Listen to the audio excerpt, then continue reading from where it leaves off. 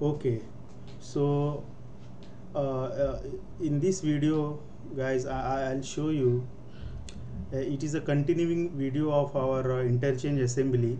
So as far as now we have our interchange assembly uh, we have added its skeleton which is a blank coordinate file and uh, we have added all these parts to its coordinates.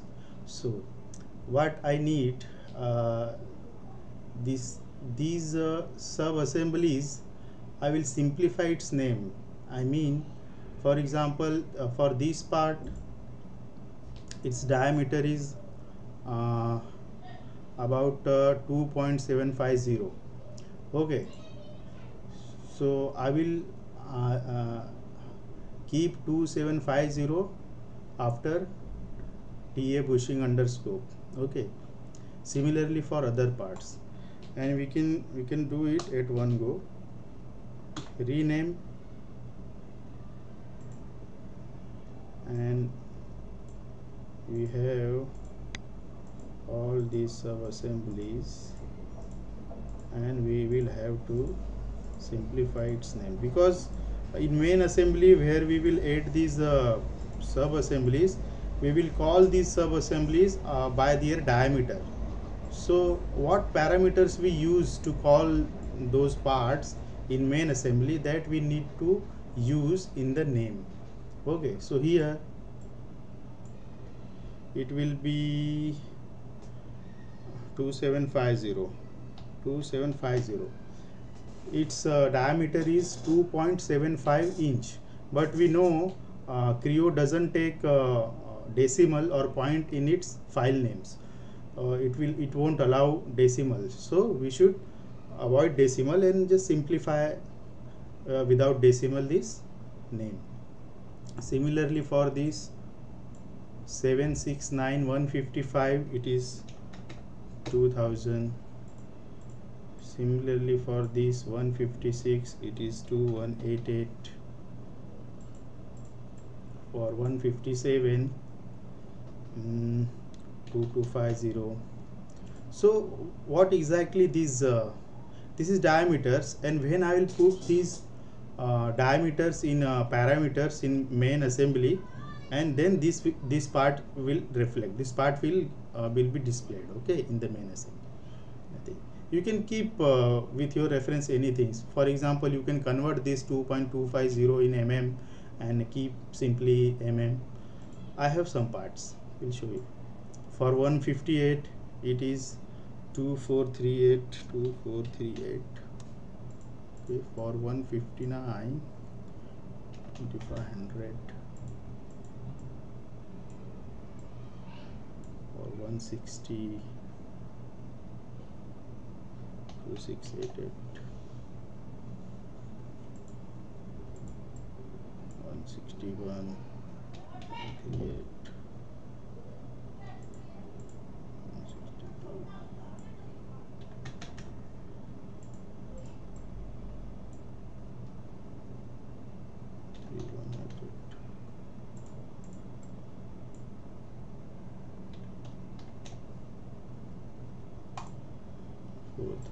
433 it is 80 mm so okay i want to call these parts uh, which is 433 by uh, um, uh, by by input 80 mm when i'll type 80 mm in those respective diameter field this part should be displayed. So this is my priority. So i rename this part as underscore 80 mm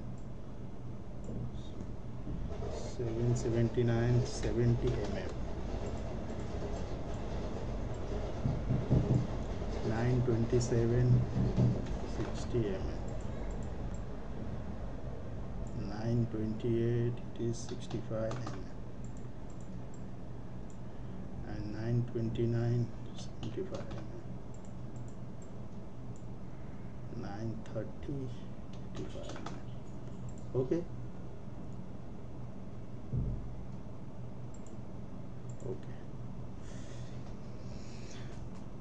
see here. These all parts renamed. Okay so uh, so we have our interchange assembly with all the parts which we need added now the main part begins and that is uh, see here uh, some parts are having a lot of uh, planes and other parts included. We should keep it is simple only those planes and axes i mean datums we should keep which we are going to uh, make its pairs. Okay? So here uh, we can see this is simplified already already but this is not I think. Okay. So this is 164 I will open this. And in this only this I need axis here.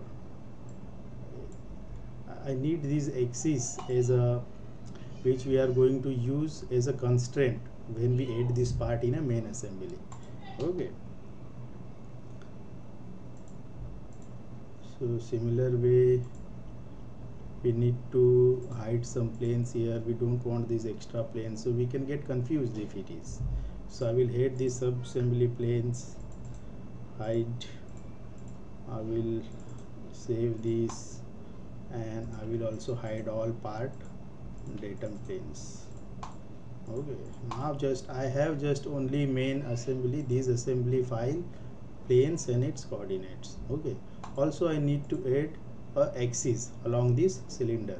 So I will choose this right top click axis. Now axis is added you can see here. Okay.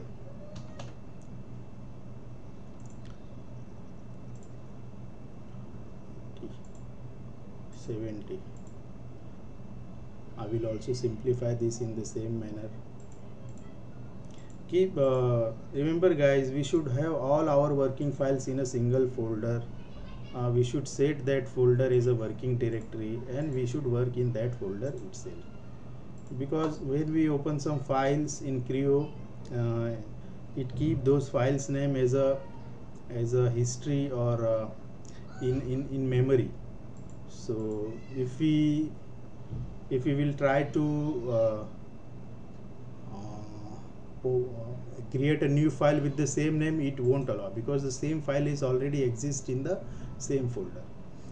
These are all basics of working uh, structure in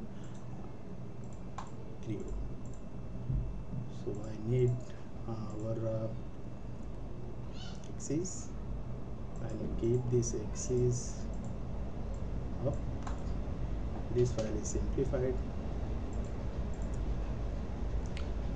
I will go to 60 make one here I will hide this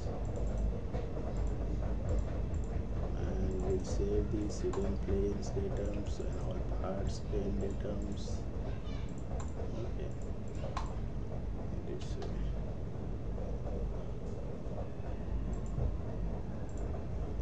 now for this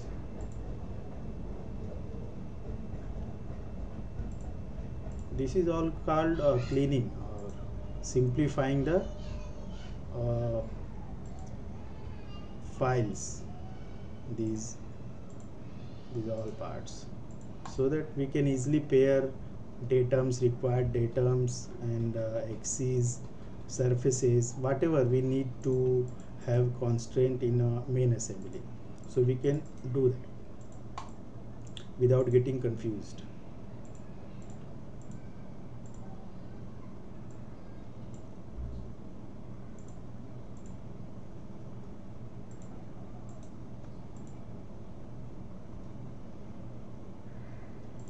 same way one axis okay axis was already there so we'll delete it. Okay this is already simplified sorry. Now all are simplified as you can see. Okay so main part begins here friends. What what I will do next is I will uh, make these axes of this part these axes these axes axes of all these uh, parts as a uh, to behave like a same axis.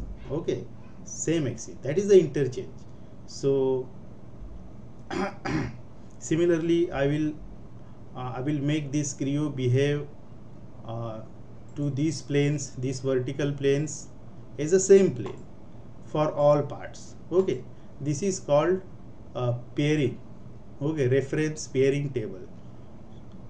Uh, similarly for this plane horizontal plane for all parts. Similarly this surface. Similarly this surface this one sorry. Okay. This surface this surface for all parts to behave like a same surface same okay. So I will click on this ref pairing table here and in active component we should select first one. So we first added this 2750 I will select this and then I will click this plus icon okay. After clicking this plus icon I will come here in uh, workspace and we will hold control key. Okay. So press control key and select these surfaces. You can see as, as we are selecting this one dot is appearing. It means uh, that surface is selected. If that dot is not appearing then we should select that again that surface again. Okay. Can see here so what I am doing I am I am I'm telling Creo to behave these surfaces as a single surface. Okay. It will interchange those surfaces when we call it in a main assembly. So these all dots are there so it's all selected. Now I will add another pairing and again I will hold control key and will add these vertical planes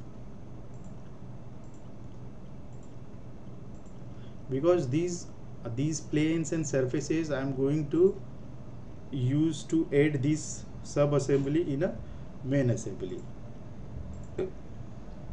Okay. When we add some part or a sub assembly in main assembly we know we should add those with it, with the constraints. Same as uh, mating in SolidWorks mates okay so this is these vertical planes are done. Again I will click. I will uh,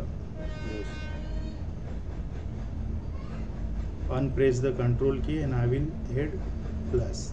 Again I will press the control key and will add these horizontal planes. Okay. Okay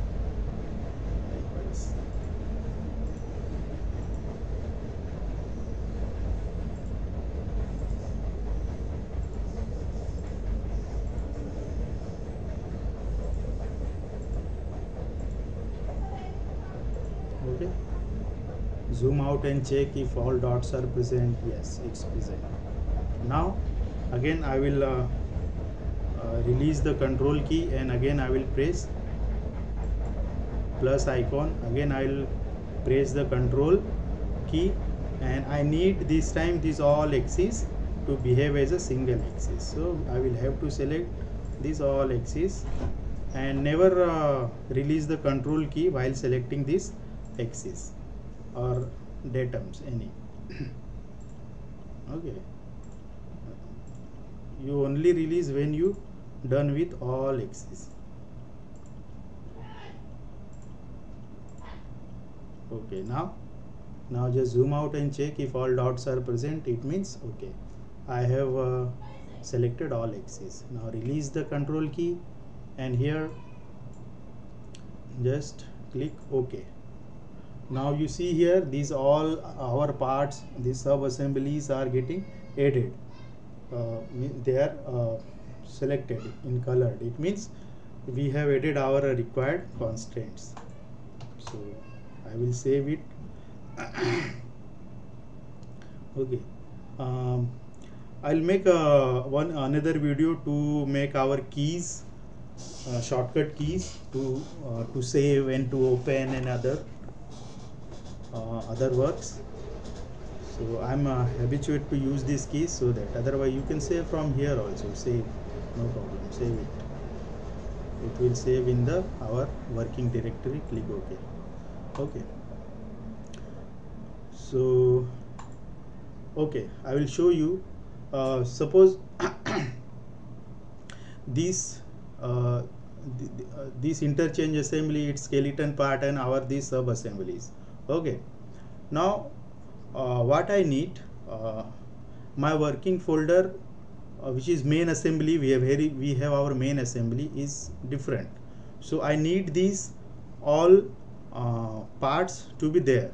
Either we can do we can close this interchange assembly and copy these all parts uh, to this this is my main folder where um, I have my main assembly.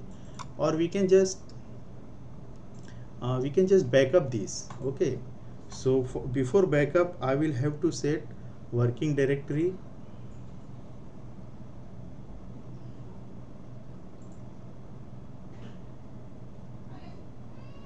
Okay. So I will set my select working directory at uh, this one. Okay. I changed my working directory and I will file save as backup. When I'll do this these all parts will, get backup there. So let us do it. Okay.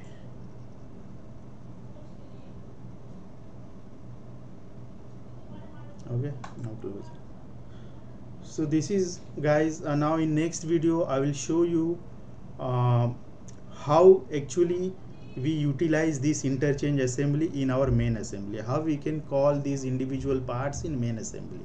Okay without adding individual parts we will just add a single part single sub assembly here in case we have assembly so single assembly i will add single one and i will call these all different different diameters. So when i call 2000 2000 this part will appear. When i will call 2188 this will appear so automatically it will interchange uh, uh, as per the diameter given. Okay thank you